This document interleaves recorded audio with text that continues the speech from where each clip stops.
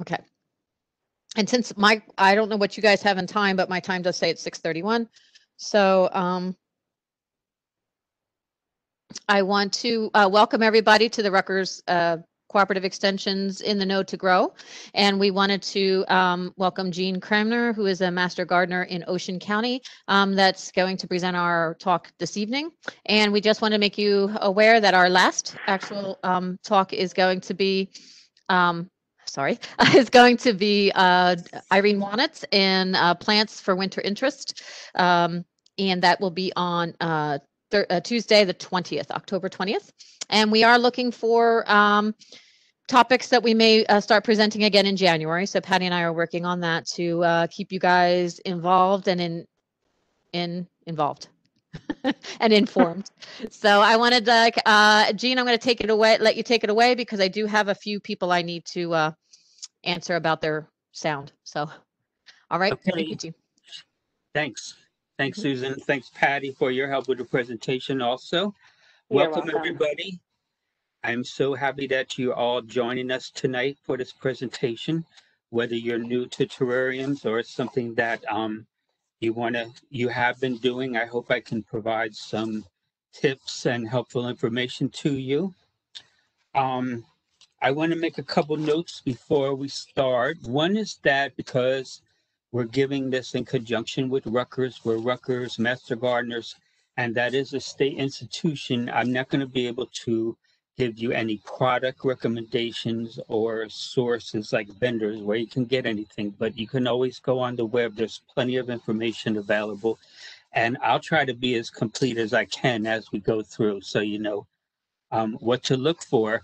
In addition, I know that yesterday you were all mailed out um, a little fact sheet that described the history of terrariums and also has a very comprehensive um, plant list. So, what I'm going to do as I go through these slides too, um, in addition to what's on the content of the slides, I'm going to point out the plants that I'm able to identify for you so that you can match them up. And maybe if you want to take a note, that that's something you want to look for as you go to the store and start building your own terrariums.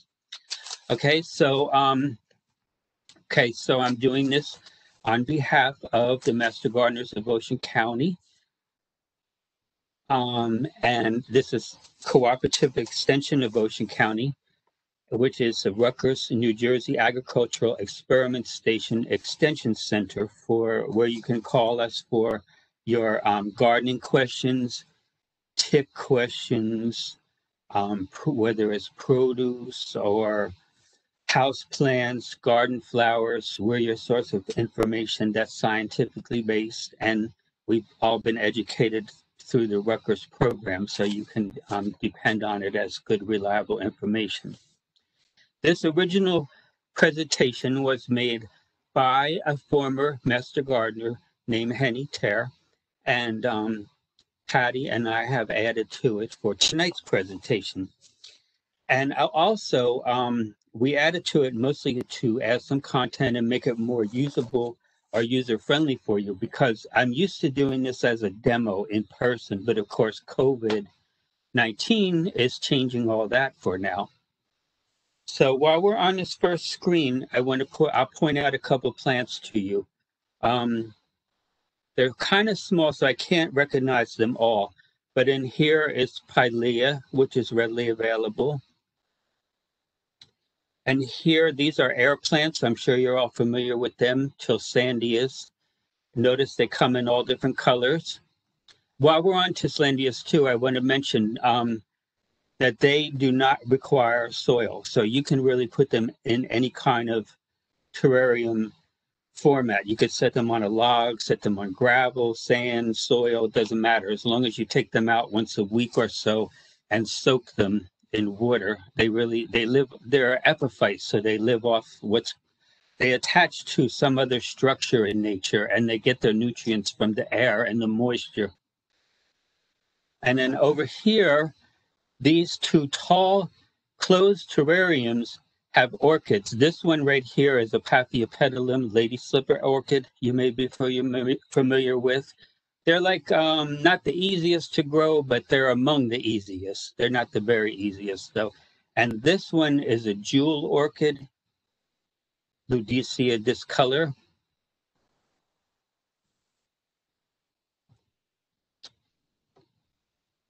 Oh, sorry.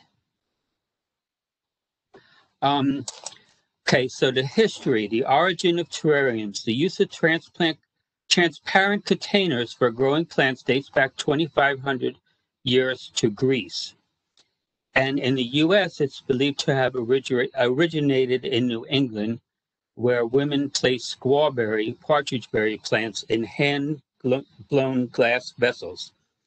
The invention of the terrarium is credited to 19th century London physician Dr. Ward. Um, this says here that he saw a seedling of a fern growing inside a closed bottle containing moist earth leading to study of other plants in containers, and he published a book on growing plants in closely glazed cases. But I would like to point out, you may read in the handout, um, this this actually sounds very scientific, but it came from an accident. He was actually trying to um, have a chrysalis of a butterfly in a case. But when that failed, he looked and noticed that other things were sprouting in the soil that he had enclosed in the box. So that's how it started. He wasn't actually starting out to grow um, plant life in the cases. So that led to the development of what we now call Wardian cases. And he was using them once they were proven effective. They were shipping plant life from South Africa to Australia. And as that caught on and people realized how well certain tender plants did, they became like a Victorian item where people could grow different um, moisture loving and high temperature type plants in their house. Notice here what is kind of cool. It's like a little miniature greenhouse. You see the little vent here? You can actually pop the lid and let some moisture out or temperature depending what, what is required. These things are quite expensive if you ever see them um, online or at a yard sale or something. They're really um, very collectible now. Okay, types of containers. Open containers are displayed here. You can use aquariums, goldfish bowls, tureens, canning jars, brandy snifters like this one here. Um, these are actually all terrariums that I have made and I like to go to thrift stores and yard sales. There's like endless possibilities of the containers that are out there that you can use for your terrariums. This one has um, a miniature African violet. And let me look at my notes. I forgot quickly what this other plant is here. Oh, that is club moss.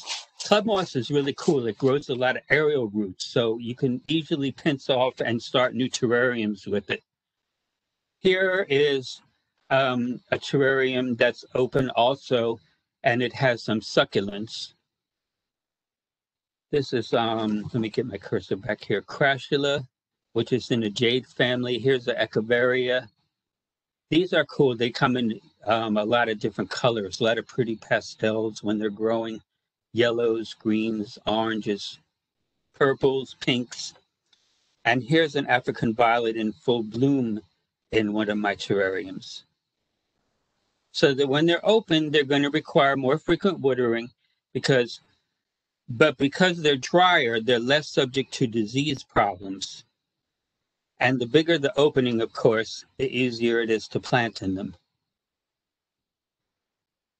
Closed containers um, we just talked about, and I showed you a picture of a Wardian case. Cold frames, bell jars, apothecary jars, cloches. This is an example of a cloche. This lid lifts off. Here is a miniature light bulb with a couple things growing inside of it. These are too small, so I'm unfortunately unable to identify the plants that are in them. And here's just a cold closed apothecary jar.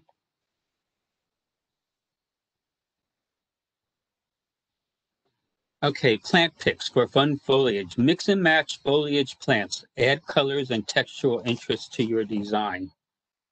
Um, here is Fittonia. This is um, oak leaf fig, uh, oak leaf ficus. I'm sorry. Um, this is polka dot plant, friendship plant, which is also pilea, silver nerve plant, which let me look that up real quick for you. That is also another kind of Fittonia. And this is watermelon peperomia. There's a whole variety of peperomias too. This one is quite striking. So even though there's some greens, mostly greens, they have fun foliage, as this headline says here, or caption, um, with different patterns and textures. This one is like very textured, um, bumpy feeling. Okay, I had a flowering plant for a pop of color. Here again, uh, this is one of my terrariums with African violet. Obviously, I snuck it down in there when it was much smaller, but it grew into a nice plant. And here is flame violet, which is actually not a African violet or any type of violet at all. It's an episcia. It's an evergreen with pretty flowers, as you can see. Over here in this corner is a moth orchid, Phalaenopsis. That's one of the easiest kind to grow. You usually see them in the grocery stores or the home improvement stores. And here again is a pretty African violet. Ivies, ferns, mosses. Okay. Um, spike moss, ivies. I would say if you can get some miniature ivies, there's a lot of things out there. Maidenhair fern, button fern, but there's plenty of different fern varieties and they all do like really well. They love the moisture and the enclosed environment of a terrarium. They all have similar light and moisture requirements. succulents, as we were talking about before in the one I showed you, they prefer bright light and soil that dries between watering. Because of that, um, you see that this is an open container. I wouldn't plant them in a sealed up container. They need a decent size opening or they're going to get too wet and not be happy at all. This is jade crassula. Burro's tail. This is a little one, but they usually um, grow very long, trail down. They're kind of um, delicate. If you touch them, it's easy to knock the leaves off, but that's also in the Crassula family. Here's an Echeveria, which I mentioned earlier, and you can see the pretty pastel colors that it has.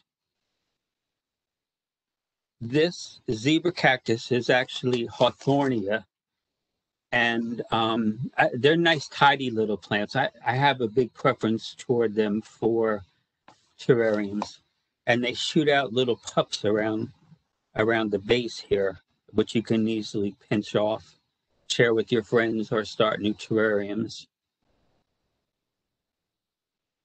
The jade plant family is very large, and um, if you're not sure when you look over plants, one way I always used to identify jade or crassula is see how plump the leaves are. Almost every plant that I know of in that genus has these nice plump leaves. Likewise, the Echeveria spread out in a pattern like this, low growing.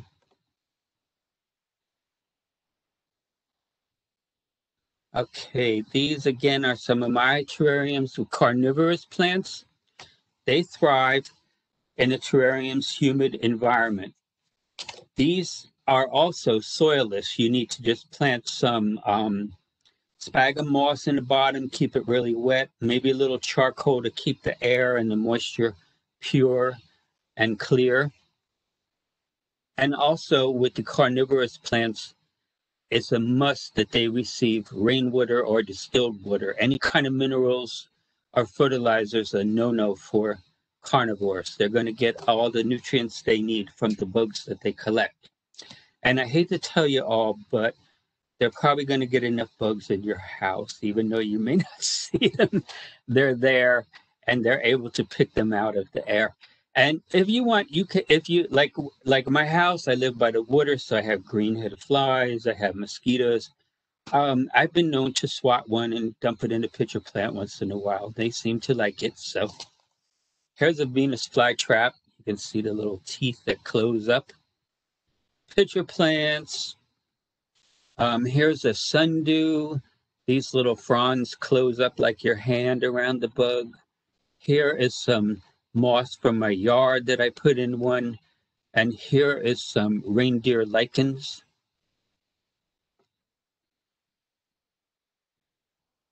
Okay, air plants, where I mentioned those before also. They come in some very unusual shapes, and some of them are actually quite large. Um, again, though, these these are probably the ultimate in easy care. They don't need soil.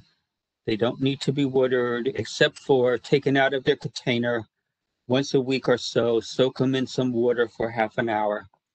Um, opposite of carnivores, though, distilled water is deadly to them. So please give them just regular tap water.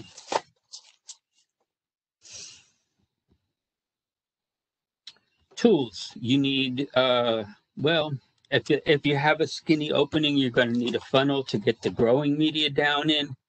Um, you need long handled sticks or tweezers, spoons or sticks with cords on the end to tamp the soil down, cotton swabs to clean any soil from the sides of the container, and a spray bottle to water, scissors to prune. You see, there's some long handled tools here for different things. Um, but don't feel like you have to buy special tools. Before I collected some of these items, since I do this all the time, I'm, you know, you can grab a stick and a piece of scotch tape and tape a Q-tip to it and stick it down in the cleaner sides, or a coat hanger works well. You can grab whatever you think will do the job.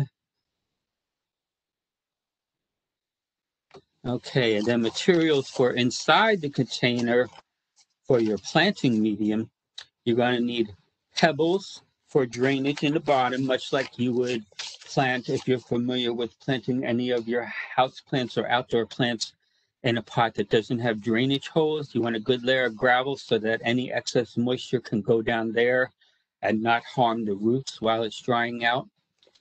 You want to wash that.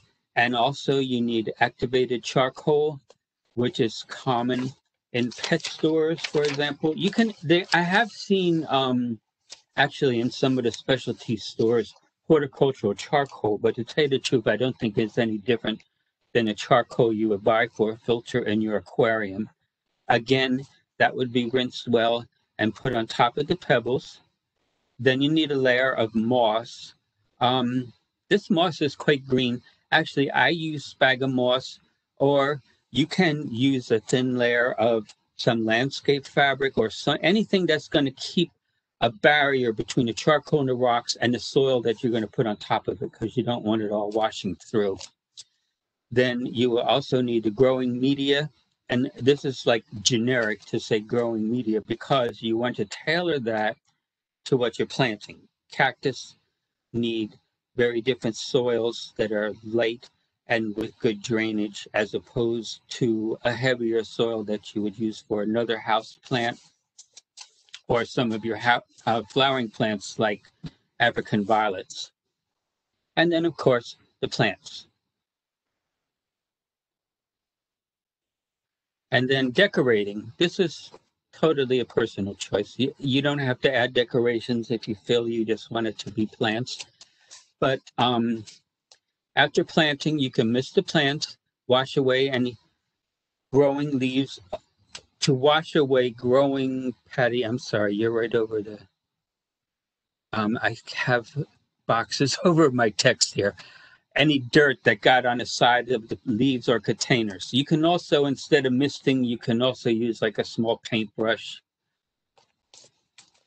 Okay, then you can, on top of the soil, you can add gravel moss, other natural materials, or accessories to give a finished appearance once the plants are positioned and cleaned.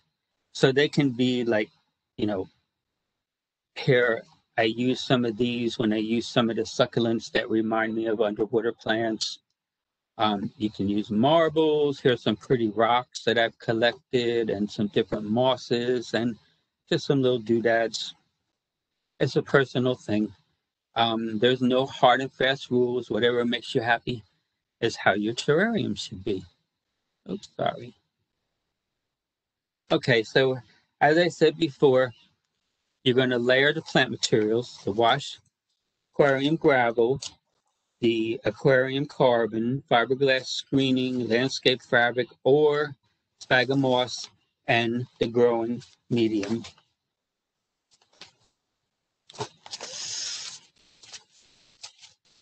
There's a comment down here. If you're concerned about where you're getting your plants from and you think there's a chance they may be diseased, you could put them in a quarantine by covering them with a plastic bag and pl- place it in a bright light for about two weeks and just watching to see if anything develops that you wouldn't want to put in your terrarium with the other plants you'll be adding to it. Okay, the planting medium should be just moist enough so that when you squeeze it with your hand, it will like I don't want to say clump up like a ball, but uh, you can feel the moisture in it, but it will still break apart a little bit. Take plants from the pots, remove the growing medium to expose the roots. Um, if your soil is limited, if you have enough room to dig a little hole and it's a little tiny plant, there are some terrarium plants that come in really small um, pots. So you could really just plant the root ball and not disturb the roots. Trim off any yellowed or damaged leaves. Trim off some roots from the plants that were extremely pot bound. Um, I like to think of this as like kind of like a bonsai technique too, because you want to make sure that the roots can fit in the pot you're putting it in, and you also are trying to keep the growth to a minimum. We'll talk about that later when we talk about fertilizing and then fill in the hole with the growing medium and tamp to firm it. Think about the overall design. So how do you want this to be viewed? View the terrarium from one side. You can slope it so soil is deeper to make a landscape more interesting and place the tallest plants toward the back or off center to create an asymmetrical design. Once your terrarium is planted, add accessories and the soil covers if desired, which is any kind of uh, pebbles or moss or whatever, you know, whatever you think. If you would like to not see the bare soil, you can add a little mulch. Um, here's a fake frog. I don't know why we're just in case. If you wanted to put a real frog, that's called a vivarium, and that's discussed in the handout that we gave you. Um, I don't really know much about them, so we're not going to talk about that. But you can certainly put fake frogs in with no problem. Okay, the care of your terrarium. Do not fertilize to keep the plants diminutive and slow growing. Um, I, I will make one exception to that. If you have flowering plants and you see that they're not flowering and you know that their light requirements and other needs are being met and they have reached a point where they're not flowering, you can probably use a liquid fertilizer for flowering plants. They have specialty ones for African violets. Um, and just use it at a diluted strength, maybe quarter what the uh, package directions say. Continually watch for for and remove fallen leaves or decaying plant parts, they're going to create an environment where diseases can occur. So you want to get them out of there. Water open terrariums from once a week to once a month, depending on the demands of the plants that you have. Check for moisture. If a quarter of the soil depth is lighter colored than the rest, spray it with a small amount of water and recheck the color. If you have too much water in a closed terrarium, you can kind of measure that by watching the condensation. You're going to get some condensation. That's good because you're almost creating like a rainforest effect. The, the water's going to rise up during the day and fall back down on the plants at night. But if it's too heavy, um, it could mean that there's too much moisture and you need to let some air in and you're going to have to open the top for once in a while and let some of that out so you find that you have the right balance. Wilting plants or failure of condensation to form indicates the need for water. Add just a little bit of water. Sometimes I just, if I have real small containers, I just add a couple teaspoons and you believe it or not, it's enough. Um, it's something, you know, touch and feel. You have to see how your plants are responding. When watering a closed terrarium, replace the cover only after the wet foliage has dried. A small amount of condensation indicates that no more water is needed. Closed terrariums should not be placed in sunlight because, um, okay, you can put it back from a window, but don't forget that that glass and that moisture in there is going to intensify the rays of the sun that are hitting it. So you can make it too hot and actually cook your plants. It's not a good, not a good deal. And also, again, with the light, we're trying, like with the fertilizer, we're trying to keep the growth rate down a bit. Okay, most plants suitable for terrariums do well in bright and direct light. If the terrarium is in a low light location, supplement with artificial light, for example, a 100 watt fluorescent bulb or fluorescent tube. So when this um when this slideshow was first created, I don't know if we had the cool cool actually cool to the touch actually and temperature led lights. They're also a very good option and some come with the ability to um, adjust the spectrum of light depending on the plant needs whether you're having blue rays red or white or a combination of all the above operate the supplemental artificial light for 16 to 18 hours a day plants gradually face the direction of the light turn occasionally to keep them growing to um, for desired angles. Unless you're lucky enough to have constant overhead light, then you have a nice straight up growing plant. Um, this again is one of the terrariums I made, and you see I have a fern. Um, this is carnivores actually. Um, so there's a fern in here with some threadleaf sundew, which is native to the pine barrens. I'm lucky enough to have a little bit growing. Um, some fig leaf ficus, and just some sphagnum moss, I guess, and the rest of it.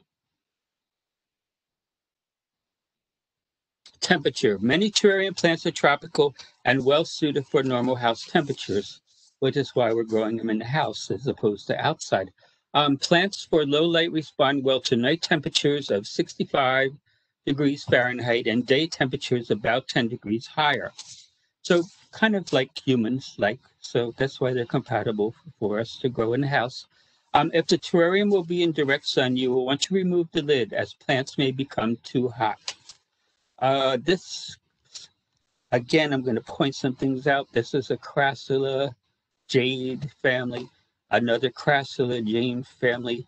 And this is uh, Sempervivum, which is a tropical one growing in a terrarium, but it's very similar to hens and chicks, which you grow in your yard all year around here. I'm sure you're familiar with them. They're cool too for propagating because they shoot little babies out the side, the chicks, of course, as we call them. Humidity. Closed terrariums are usually quite moist and humid. Make sure to consider this when choosing plants. Carnivorous plants, mosses, some ferns, and nerve plants can tolerate high humidity. Heavy condensation could mean too much moisture. Open the lid temporarily, as we discussed a couple slides ago. This is quite wet, obviously. Can't even see inside. But, um, you know, it, may, I can't see what the plants are, but it may be what they need or it may be too much noise, moisture. Pruning. Many plants gradually outgrow the limits of their terrarium space, which is um, what we talked about before. We're trying not to encourage that, but of course, it's a living thing, it's going to grow. Trimming brings the plant back into the constraints of the terrarium and often promotes side shoot growth that fills out the plant. Pinch out tips before the plants become too tall. and it will result in better growth and then severe cutbacks. Remove all trim vegetation from the terrarium.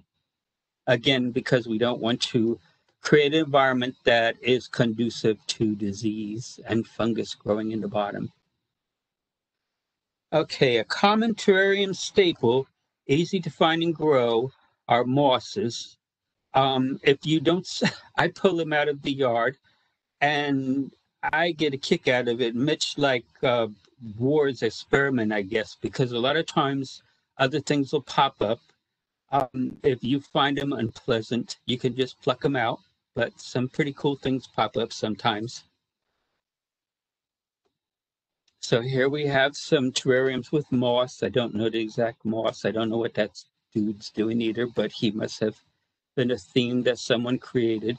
These are one of my favorite containers if you can find them. The glass isn't like super duper clear, but uh, they make a nice tabletop edition. It's a biscuit jar. They look really cool. I have one in the office where I worked.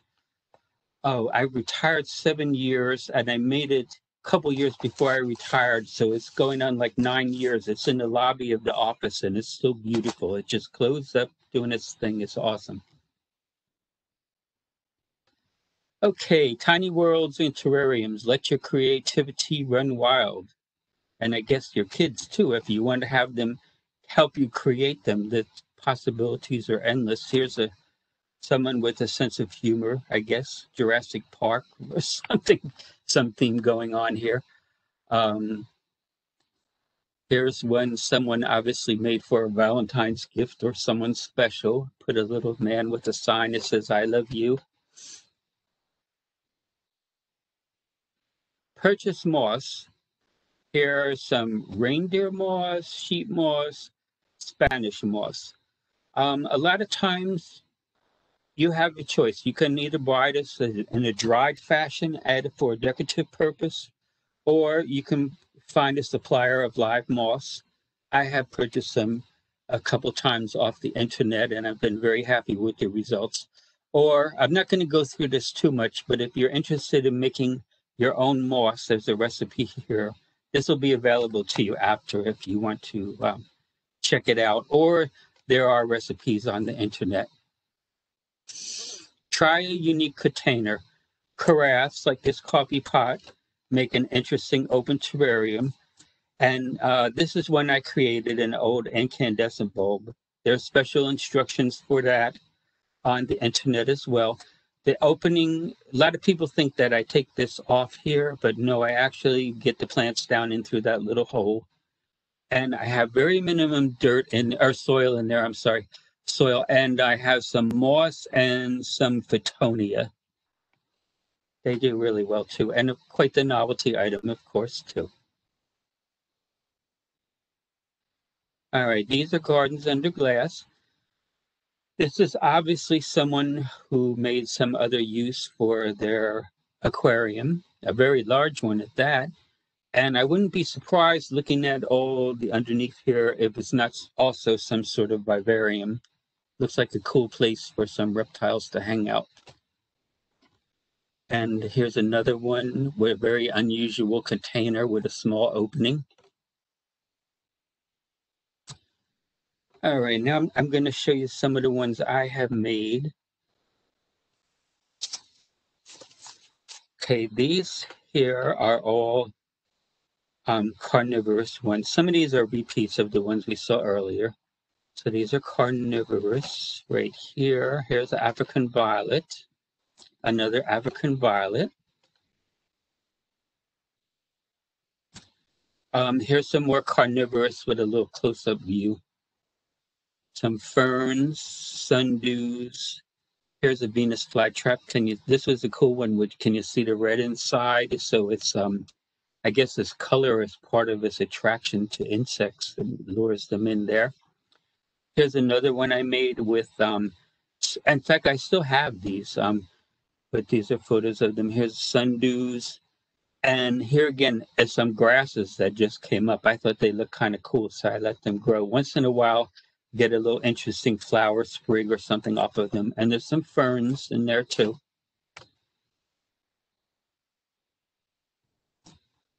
All right, here's some more carnivorous, pretty red pitcher plant, some reindeer lichens or moss. It's actually a lichen. A lot of people call it reindeer moss. Some more pretty pitcher plants. Notice the pretty patterns.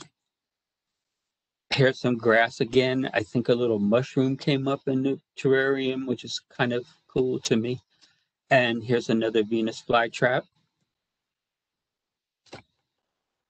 Another one. Here again, the thread leaf sundew. Here's a paddle leaf sundew.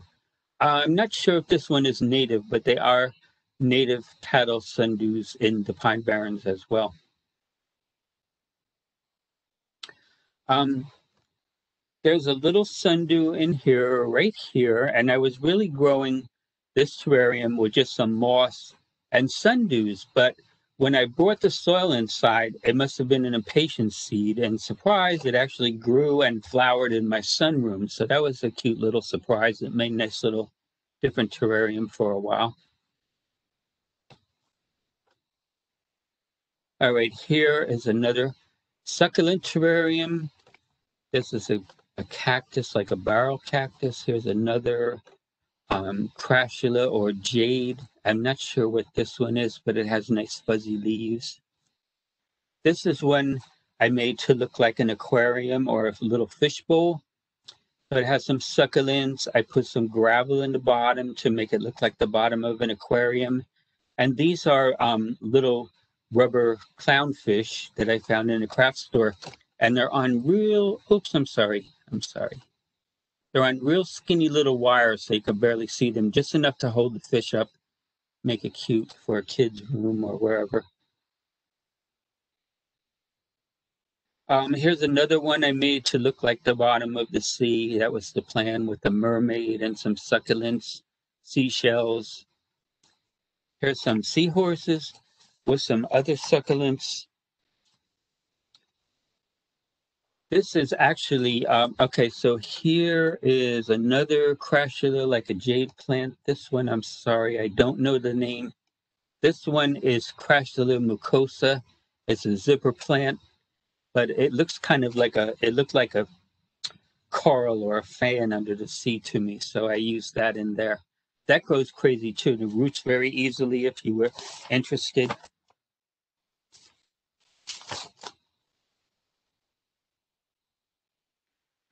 Here's a bunch I had for a holiday sale. See, these are here. This is just a little jar with a little birdhouse hanging in it and just moss. You can make them as simple or elaborate as you like. These are all closed terrariums up here. Here's the open one. Here's some more of the light bulb terrariums. Here are the air plants Tillandsias that I use. I made them look like a beach thing. I used some sea glass and some white sand. Here are here's a a wide open dish that has succulents. It's a low terrarium. Here's some more light bulbs. Here's another light bulb, light bulbs, light bulbs. Um, and five years ago, my youngest son got married, and I did all of the um, table decorations. So this is one I made for their table with their um, guest table seating cards at the front table. Um, let's see what's growing in here. There's a Chamaedorea elegans, like Bella Palm, uh, Creeping Fig, some Fittonia, some moss. There's actually, I have a little wire gazebo. It's hard to see. There's a gazebo in here. There's a light. They still have it in their living room.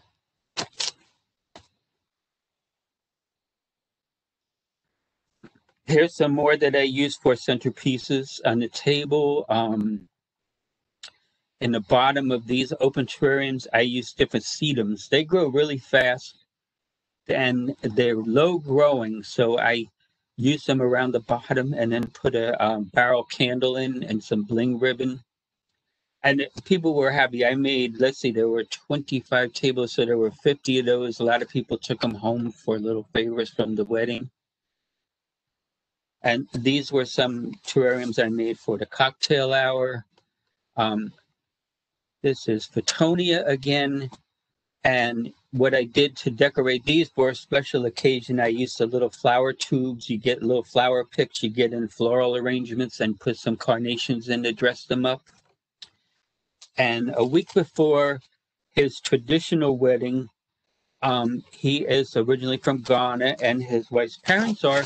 So we had a traditional Ghanaian ceremony, which was kind of fun. And I made centerpieces for that as well. This is them getting set up. I used pothos and crotons, but these containers were quite large. They were about 18 inches tall, so you have to fit the plant you know the scale scale is a thing too you want to keep in mind and here they are for the outdoor Ghanaian wedding. I used what I did was match the plants, crotons, with a different color of the leaves, so that I could use traditional kente cloth. You, I'm you're probably familiar with this. It's originated in Ghana, and it has pretty oranges, greens, blacks. So I thought the crotons would match it nice. And there's some more of them on the tables for the wedding. Again, they were nice take homes for people. And there's one close up. And that's the end of the slideshow I have tonight. Um, I do want to show you a couple things that I have in my house, I'm going to spin the computer around a little bit and hopefully you can see them. Am I going the wrong way? Sorry.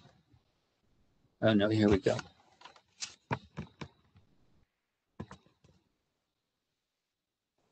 This is, I'll call it a Poorman's Wardian case. It um, It's actually just a leaded box, but it actually acts like a cloche so the whole thing lifts off, and then I have a nice little terrarium in there. I don't know if you can see it very well, but I have some plants and and tried to make it like a little outdoor thing. Just put it on.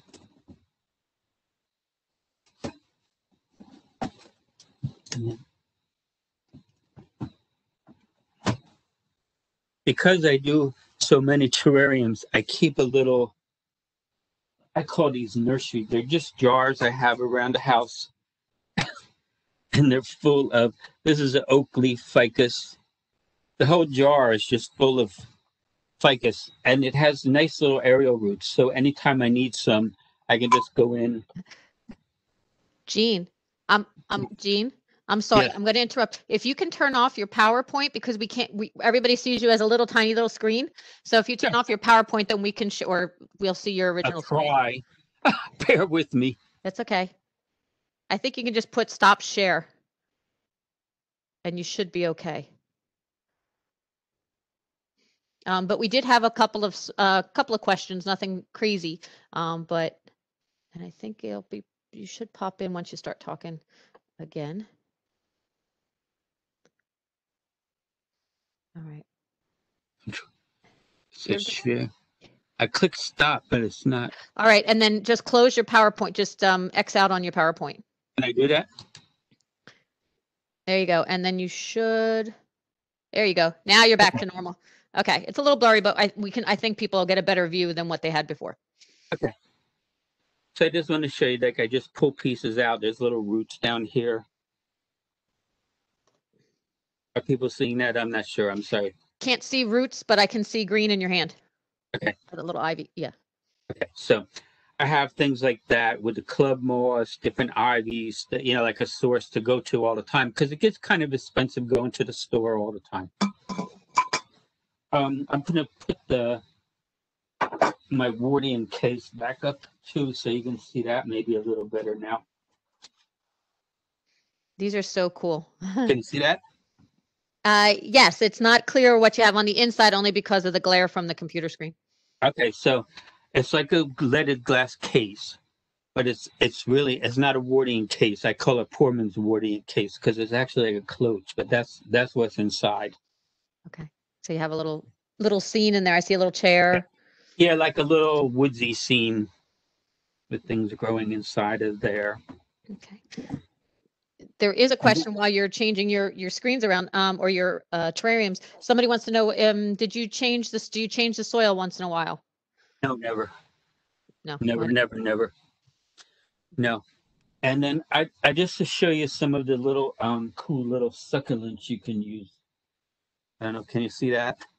Can't see the individuals, but yes, you can see the, the textures and the colors. Yeah, so there's crassula. This is another crassula called tiger jade. This is um sedum. Sedum Ogon. It's like a golden sedum. And this is a little blue sedum. They spread real easy. They're this is just a planter that I have with them, but I use them in all my terrariums as well.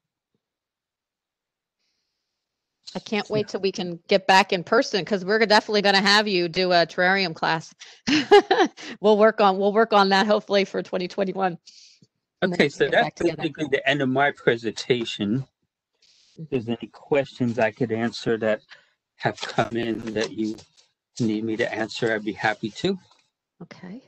Um, Patty, if you have any, I'm going to let you go first. I haven't actually seen any questions that we haven't answered. Um, but people are really impressed with your talent because seriously, I mean, someone did say you're the terrarium wizard, and I agree. Well, it's It's just you know, it's just one of the things I enjoy, and I'm telling you, I've been I've been doing them for a long time. It's just Yeah. something I enjoy. So, and So- if you do, you know, when people do their own, like you you you know, unless you're like experienced with all kind of house plants and really know, you know, what works well together and, and environments and soil conditions and things they need. I mean, gardening is like like the, a grand experiment sometimes. I mean, we can always go to scientific based information, but um, sometimes the best discoveries are made just by playing around, see what works for you. I you shouldn't feel dis- you shouldn't feel discouraged if if your first one is not a success. It, it, yeah, I've had some that are awesome and I've made them at the same time with my kids. And I have others that are just dogs. It just depended on who accidentally put too much water in. And I have Yeah, done it yeah, where I've right, had to right, dump right. out the water. so, Right, um, right. A little bit too much of water is going to throw everything off, and you you know you got to monitor it. But when you get everything right, and put the lid on it, like I say, I, these jars that I showed you that I use for like a nursery, I don't I don't do anything to them. If I notice one, you know, maybe a couple times a year, I put a little moisture in there. If I notice that they're um getting you know, I don't see the condensation that I like to see on the side during the day, then I'll say, oh, maybe it needs a little bit. So I'll go ahead and give it some, but very, very little. Okay, you are getting a bunch of questions that are popping up. Um, I do have Deb asked, um, do you make your own soil mediums? And what would you use for succulents? And one that goes, yeah, one that go goes with it was about the size, how much soil you're putting in, because somebody said you have a lot of stone too. So it was kind of a question together. Yeah, okay.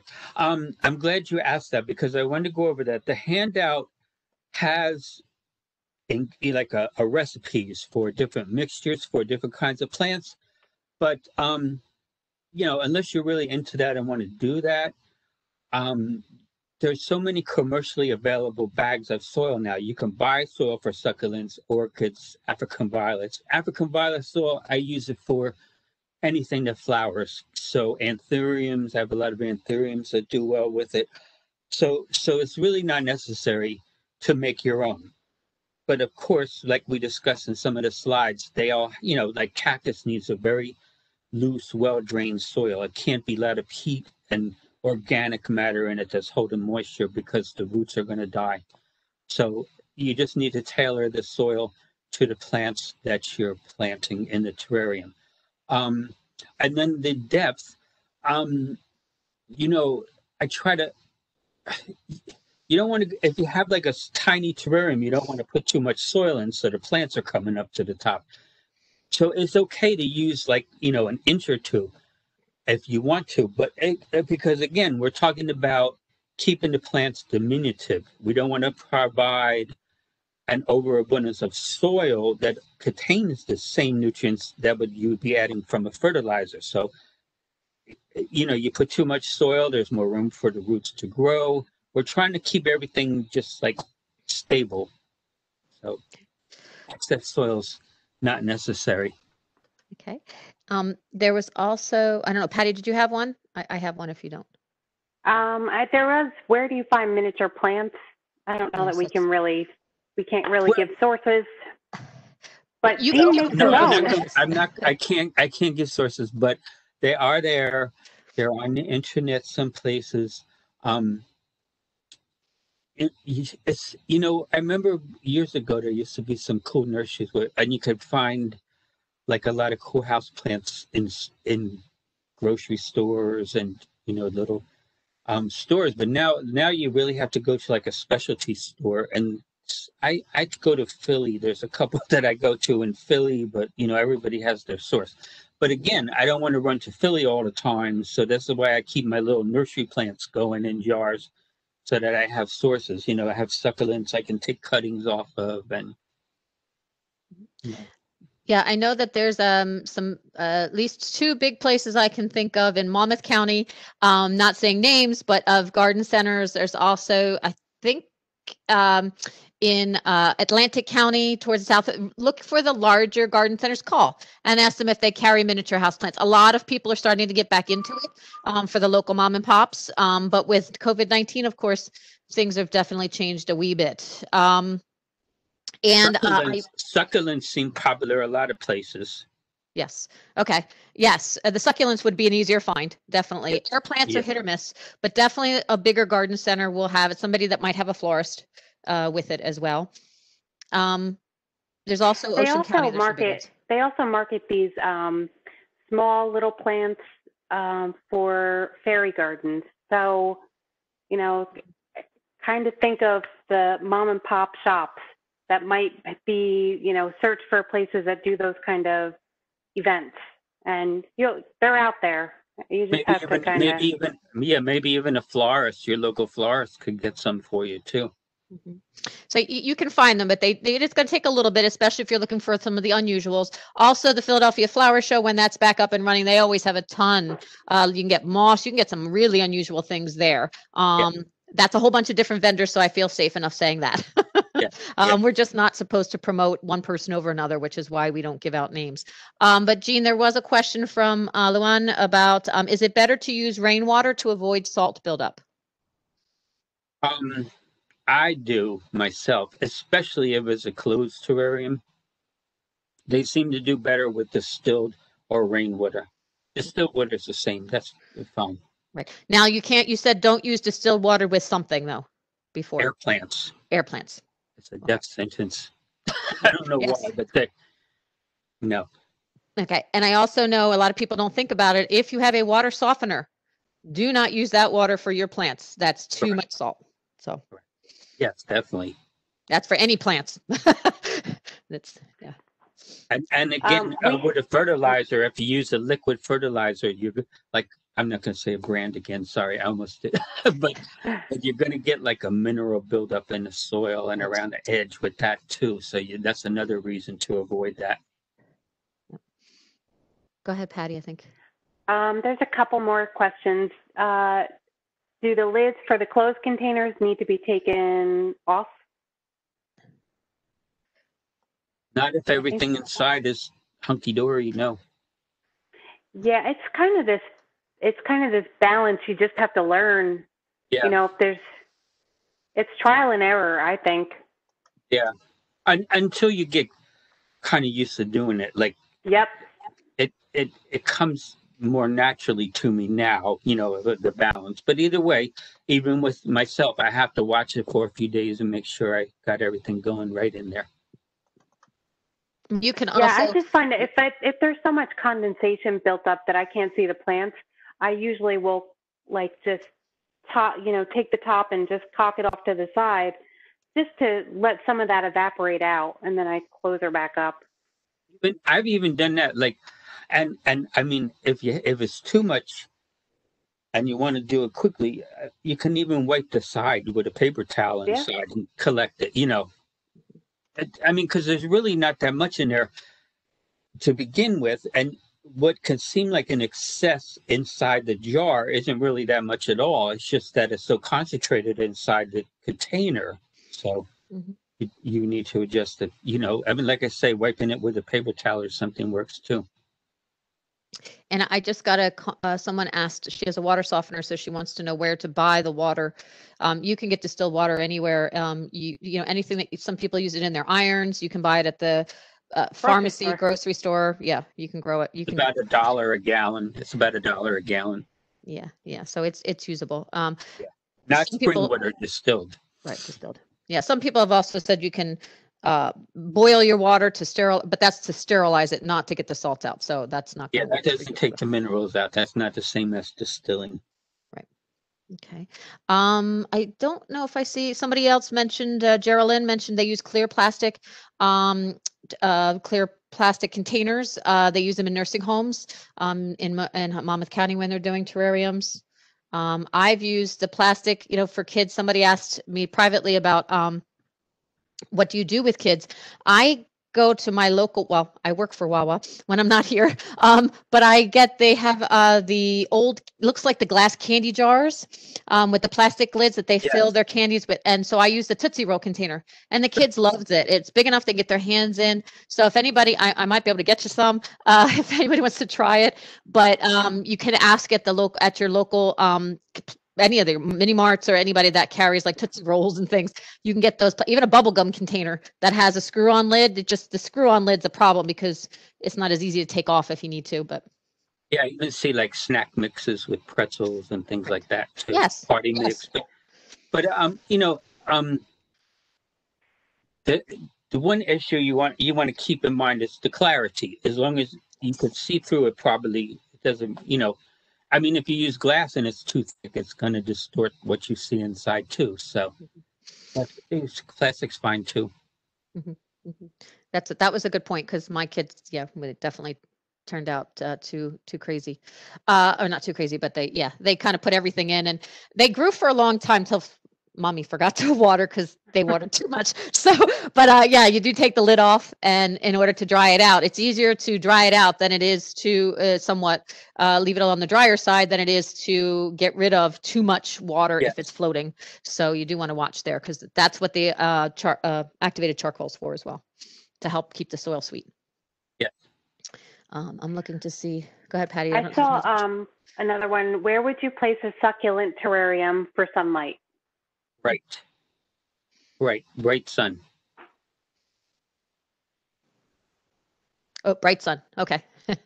Yep, bright sun. Yeah, sorry, I, d- I thought you, yeah, I didn't know, I was just expecting more to continue on, so, um, I, I do, sorry, I'm looking, uh, in the, s- I, we have a bunch of people that are asking for the handouts that haven't, um, can you distance, can we distance students get a handout somehow? Sure, just you guys, Yep. um, anybody that needs a handout, just email me. Um, you can em- put your email in a private message, so it's not out to everybody if, unless you don't care. Um, but I've been trying to send them out to those people. So what happened was we did send out the handouts to the 85 people that were registered before yesterday um, afternoon. So anybody that registered after is, is the sixth. It was attached um, to the WebEx, but it, it's not the easiest thing to download. I haven't figured out why they do it the way they do, but um, so we can get it to you, Sandra. Um, and then Lisa had a comment, I think, as well. Lisa? I don't know if it's a private. Does the lids close? The container needs, oh, that you said you entered that. I'm sorry, never mind. Yeah, I think we got that one. Sorry. Yep, I was behind the times on that one.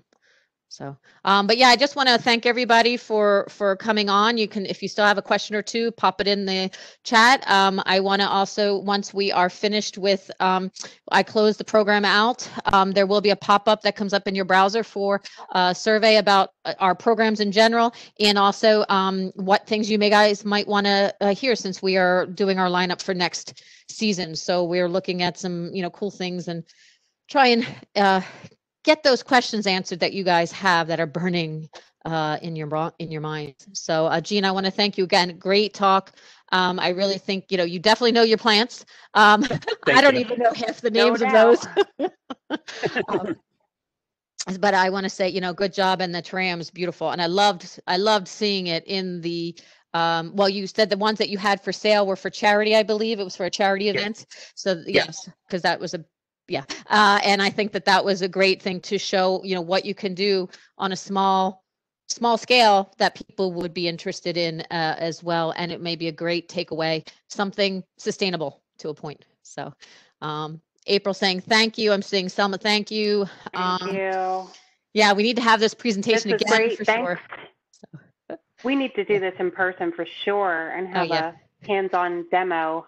Yep. So I know, I've I've done it three or four times in person at libraries and things. So, yeah, and I was gonna say Selma's in uh, Mercer, but I'm sure we can, we can either uh, reciprocate or you can come our way uh, once we open. Hopefully that'll be, uh, you know, won't be till before the new year, but, um, you know, we won't know that schedule until, uh, uh, we won't know that schedule for a little bit yet. Yeah, for a while. So, but all right. Uh, thank you again, Jean. Wonderful. And I love it. You're on time. Uh, you actually made it.